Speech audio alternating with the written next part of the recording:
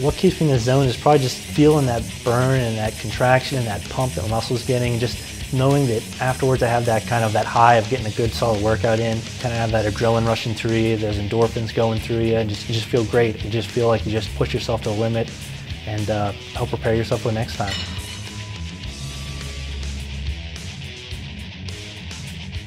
The community and support group for bodybuilding and just the gym in general is great. Uh, everyone's pushing you to go harder and, and, and lift more and, and be stronger. You know, I first got started with, with some friends at the gym. They were hardcore bodybuilders who, and that's, that's what they did year round was eat and train. They've been nothing but supportive, helping me with every aspect from training to diet, just to uh, coach me through those mental breakdowns where you're, you're craving a pizza and you really can't have it.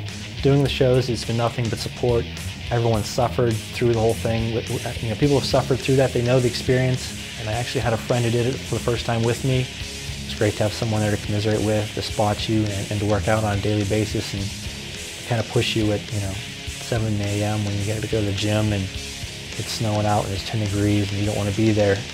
Um, you know, misery loves company.